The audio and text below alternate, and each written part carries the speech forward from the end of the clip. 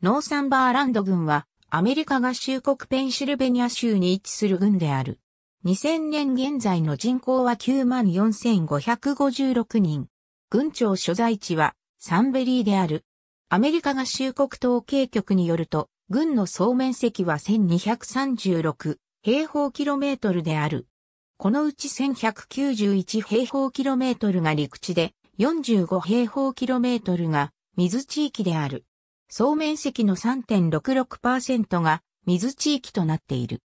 2000年現在の国勢調査によると、軍の人口は94,556人、38,835世帯、及び25,592家族が暮らしている。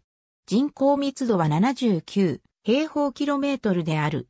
36平方キロメートルの平均的な密度に43,164件の住宅が建っている。軍の人種的な構成は、白人97.09%、アフリカンアメリカン1.52%、先住民0.10%、アジア0.22%、太平洋諸島系0.02%、その他の人種0.47%、及び根血0.58%である。ここの人口の1.10%がヒスパニック、またはラテン系である。全世帯の27.30%には18歳未満の子供が同居しており、52.40%は夫婦で一緒に生活している。9.60%は夫のいない女性が世帯主であり、34.10%は独身である。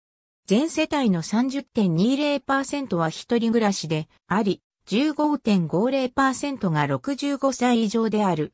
平均世帯人数は2.34人、平均家族人数は2.89人である。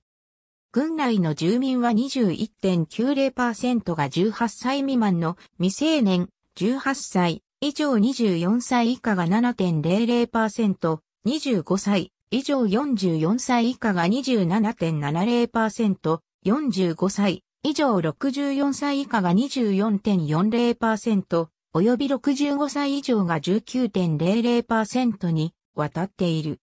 中央値年齢は41歳である。女性100人ごとに対して男性は96.30人である。